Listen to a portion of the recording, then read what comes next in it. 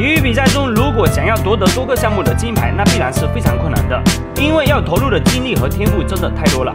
有些运动员也有攻多个项目，但是结果却让他们并没有一个项目会在比赛中夺冠的。